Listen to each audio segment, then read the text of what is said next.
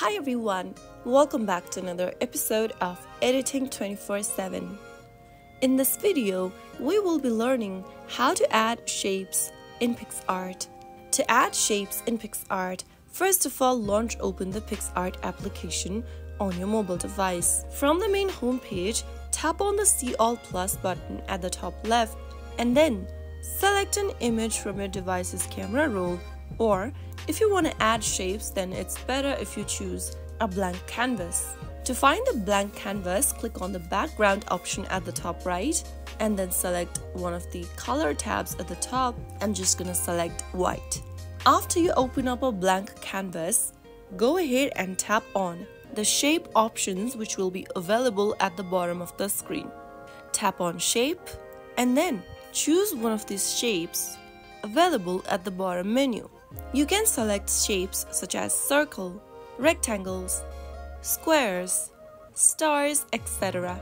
After selecting a shape, you can then tap on the color option at the bottom, select the color for your shape, and you will be able to see that you have added a shape.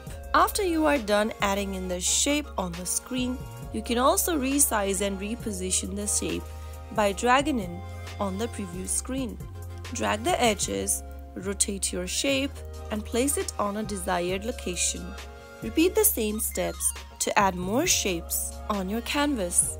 You can also adjust your shapes by using the blend opacity, invert, and other options available at the bottom. If you want to duplicate a certain shape, tap on the shape and click on duplicate at the bottom left. And that is how you can easily draw shapes or add shapes in PicsArt.